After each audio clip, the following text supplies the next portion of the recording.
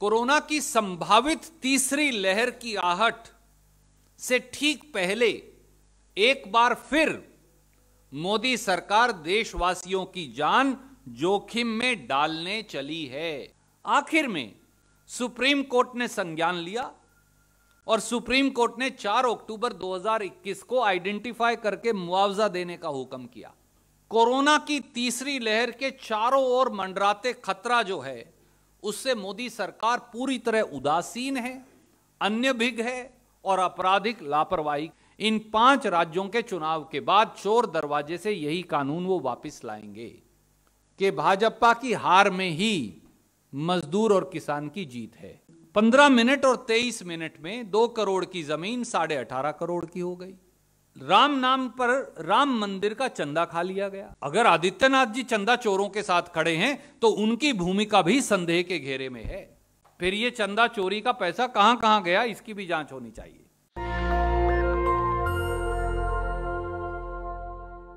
दृष्टि और सोच की भयंकर कमी, केवल हेडलाइन मैनेजमेंट स्टंट बाजी और इवेंट बाजी यहाँ तक मोदी सरकार सीमित हो गई है। मोदी सरकार ने, Modi government has failed India. याद करिए, कोरोना की पहली और दूसरी लहर में मोदी सरकार ने हमारे प्रवासी मजदूरों को किस प्रकार से पलायन और कई बार मौत की घाट मौत का फंदा चूमने पर मजबूर किया। मोदी सरकार ने देश के गरीब को, जिसकी जेब में पैसा डालने से इनकार कर दिया राहुल गांधी जी, सोनिया गांधी जी के कहने के बाद किस दुराहे पर ला खड़ा किया। मोदी सरकार ने लघु और छोटे उद्योगों को विनाश के रास्ते पर धक्का दे दिया। मोदी सरकार ने अर्थव्यवस्था को गर्त के अंदर झोंक दिया। और मोदी सरकार की आपराधिक लापरवाही से ये सब निष्पक्ष एजेंसियाँ कहती हैं कि कोरोना की दूसरी लहर में 40 लाख के करीब भारतीय जो हैं, वो मौत के शिकार हुए। यह इसलिए हुआ कि मोदी सरकार हर बार जिम्मेवारी से पीछा छुड़वाने, कोरोना टीकाकरण को लेकर बार बार नीतियाँ बदलने कोरोना की रोकथाम के बजाय खुद के महिमा मंडन और रैलियों और चुनावी गोटियों को प्राथमिकता देने, प्रांतों पर दोष मड़ जिम्मेवारी से पीछा छुड़वाने, इस प्रकार की आपराधिक लापरवाहियों से देश के लोगों की जान से प्रधानमंत्री माननीय नरेंद्र मोदी जी और उनकी सरकार ने खिलवाड़ किया है। कोरोना की संभावित तीसरी लहर की आहट से ठीक पहले एक बार फिर मोदी सरकार देशवासियों की जान जोखिम में डालने चली है। और साथियों, आज जवाबदेही मांगने का समय है। और इस देश के 140 करोड़ लोगों की ओर से हम छह बिंदुओं पर सरकार का स्पष्टीकरण और प्रधानमंत्री से जवाब मांगते हैं।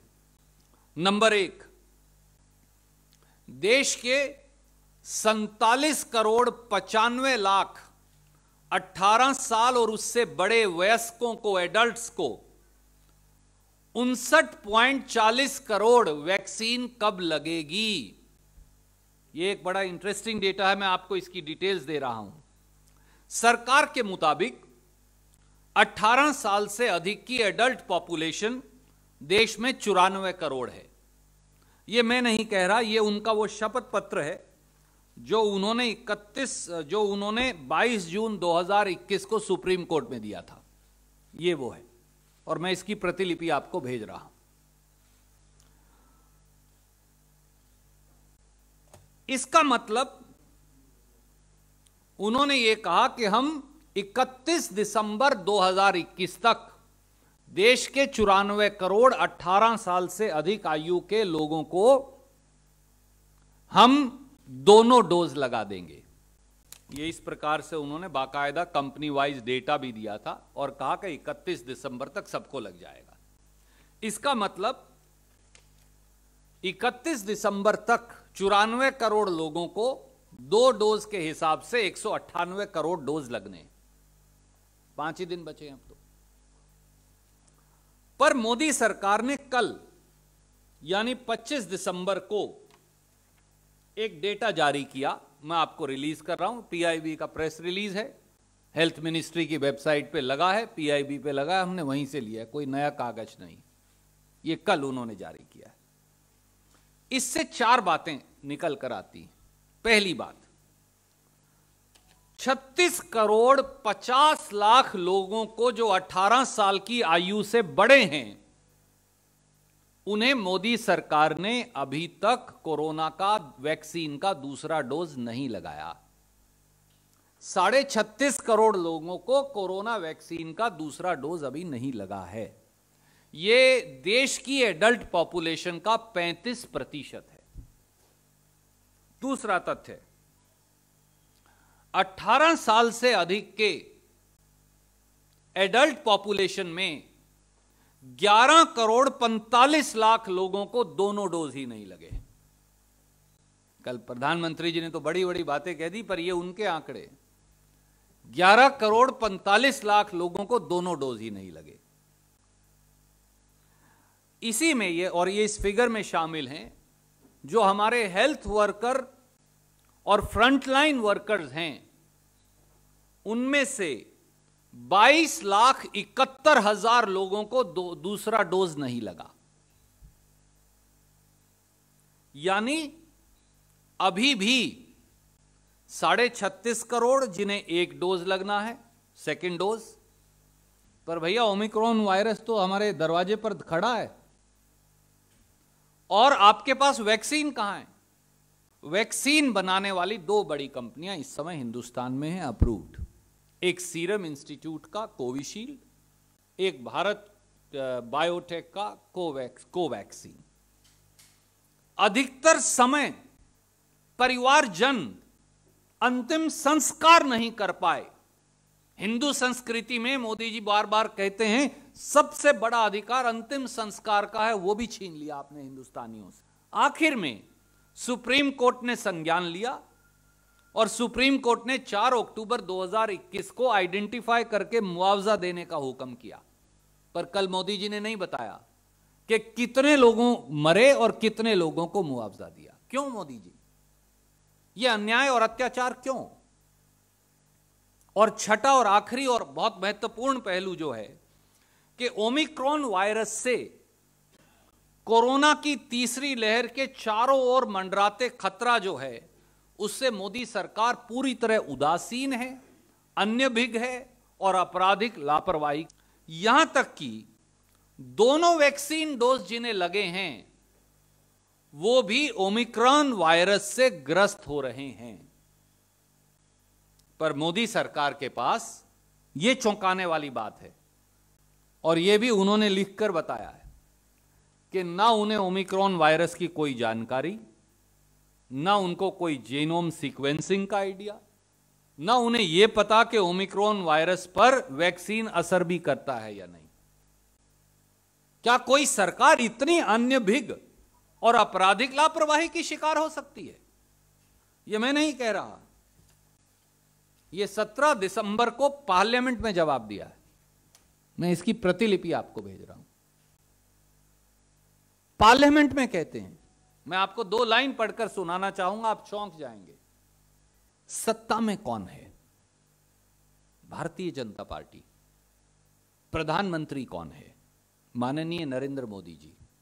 उत्तर प्रदेश में कौन सत्तासीन है? Bharatiya Janata party. Scientific data किसके पास अवेलेबल है? मोदी सरकार के पास। ओमिक्रोन के खतरे के बारे में जमीनी जानकारी शायद किसको उपलब्ध हो सकती है? सरकार को। प्रतिबंध लगाने का दायित्व, अधिकार, कानून और संविधान में किसको दिया गया है? सरकार को। रैली बंद करना या रैली चलाने का ऑर्डर निकालने का अख्तियार किसको है? सरकार को। तो कांग्रेस निर्णय कैसे करेगी?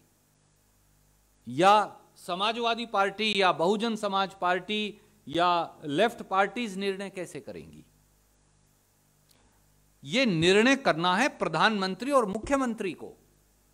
सारे तथ्यों की जानकारी लेकर हमारा काम है एक जागरूक नागरिक के तौर पर देश को और सरकार को जगाना, जैसा राहुल गांधी जी कोरोना की पहली लहर से लगातार करते आए हैं। ये तथ्य हैं जो इस समय जग ज़ाहिर हैं। इनके आधार पर सरकार को निर्णय लेना है। जो निर्णय मोदी जी की सरकार लेगी, भाजपा सरकार लेगी, जनता के हक में कांग्रेस पार्टी उसकी अनुपालना करेगी। आदरणीय मित्र, हर व्यक्ति को जिम्मेवारी लेनी होगी। बंगाल में जब राहुल गांधी जी ने अपना मन महसूस कर, राजनीतिक नुकसान उठाकर यह निर्णय किया, हमें राजनीतिक बहुत नुकसान हुआ उसका। हमारी हमको उसका राजनीतिक कीमत आज भी अदा करनी पड़ती है। तो हमने तो वो कीमत अदा कर दी। पर ना बंगाल की सरकार ने और ना देश की सरकार ने उसके बारे में कोई चिंतन किया। तो मैं आपके माध्यम से, विनम्रता से देशवासियों को भी और राजनीतिक दलों को कहूँगा कि प्रतिबंध एक व्यक्ति के लिए नहीं हो सकता। राहुल गांधी और प्रियंका गांधी पर प्रतिबंध और मोदी जी को छूट के सरकारी रुपया इस्तेमाल करें, सरकारी बसें लगाएँ, सरकारी करोड़ों रुपया फूकें और वो रैली करें और प्रियंका गांधी पर पाबंदी हो। यह नहीं हो सकता यह दोहरा मापदंड है। लोगों की जान और माल की रक्षा करना हम सबका दायित्व है, कर्तव्य है और मैं फिर कह रहा हूँ, जो सरकार निर्णय करेगी जनहित में, कांग्रेस पार्टी पहली पार्टी होगी, प्रियंका गांधी जी, राहुल गांधी जी हम उसकी अनुपालना करेंगे। आदरणीय साथी,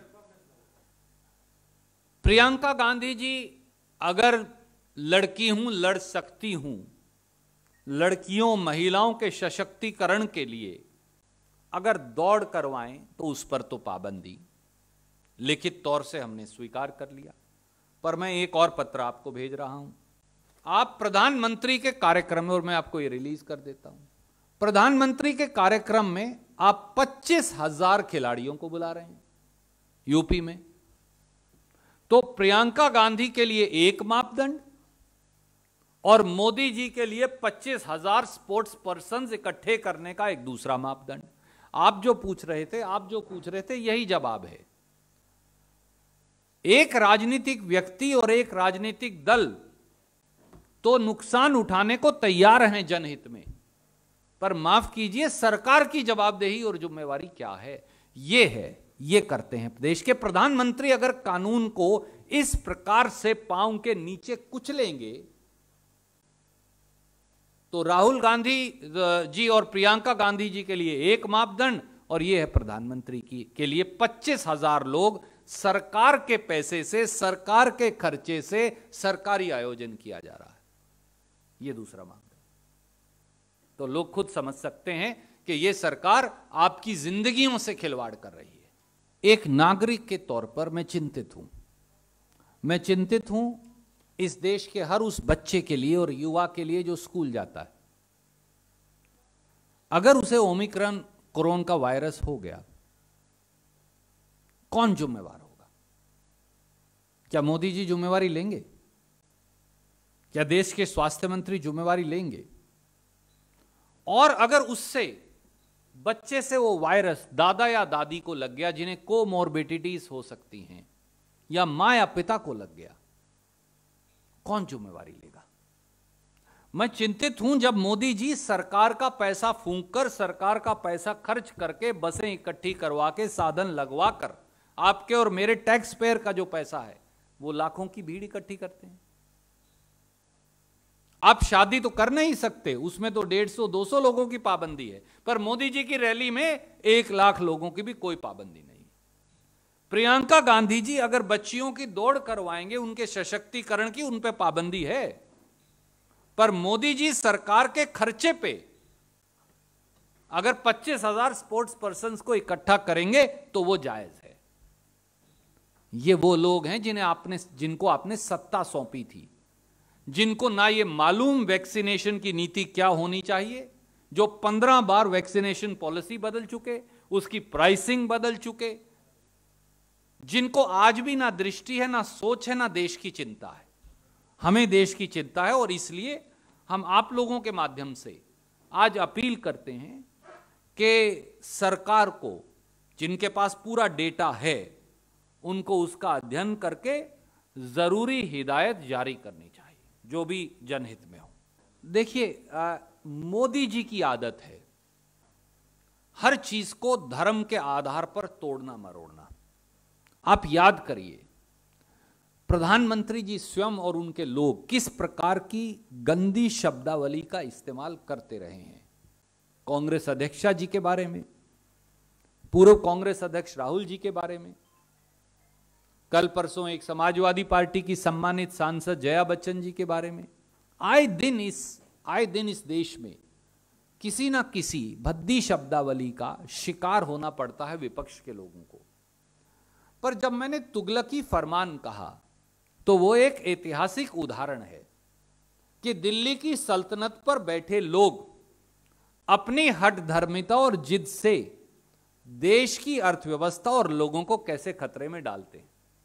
ये मोदी जी कर रहे हैं। आदरणीय मित्र, मोदी जी के इशारे पर नरेंद्र तोमर जी ने बयान दिया है। और यह एक सोची समझी साजिश है, षड्यंत्र है। इस देश के अन्नदाता किसान और खेत मजदूर के खिलाफ के तीन काले कानून, जो अन्नदाता ने 380 दिन से अधिक का आंदोलन कर और 700 किसानों की शहादत देकर सरकार को किसान की द्योड़ी पर झुकाया था।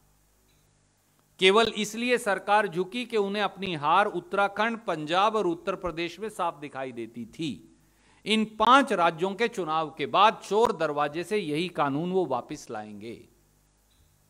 इसलिए हमने तो कल कहा कि भाजपा की हार में ही मजदूर और किसान की जीत है।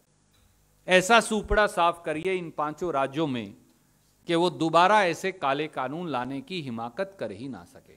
आदित्यनाथ जी का पूरा राजनीतिक कैरियर, वो भगवा पहनते तो हैं, पर उन्हें भगवा की, भगवा के मायने की, मायनों की जानकारी नहीं। भगवा सदाचार है, प्रेम भी है। भगवा धर्म की मर्यादा वह, जबान की मर्यादा है। जबान लड़खड़ाने वाले व्यक्ति को शायद आप कपड़े का आवरण तो उड़ा सकते हैं, पर उनके मन में जो कुंठा धरी है, वो नहीं निकाल सकते। सवाल बड़ा सीधा था प्रियंका जी का। हमने सबूत दिखाए ना। पंद्रह पंद्रह मिनट और तेईस मिनट में दो करोड़ की ज़मीन साढ़े अठारह करोड़ की हो गई। राम नाम पर राम मंदिर का चंदा खा लिया गया। चंदा चोरों के साथ क्या मुख्यमंत्री खड़े हैं? अगर आदित्यनाथ जी चंदा चोरों के साथ खड़े हैं तो उनकी भूमिका भी संदेह के घेरे में है। फिर ये चंदा चोरी का पैसा कहाँ कहाँ गया, इसकी भी जाँच होनी चाहिए। धन्यवाद। नेशनल दस्तक की आपसे गुजारिश है कि अगर इसको बचाना चाहते हैं तो नेशनल दस्तक को सब्सक्राइब करने के लिए रेड कलर के सब्सक्राइब बटन को दबाएँ, फिर बेल आइकन की घंटी दबाएँ। नेशनल दस्तक को बचाने के लिए बहुत ज़रूरी है कि हर खबर को शेयर करें, लाइक करें, कमेंट ज़रूर करें।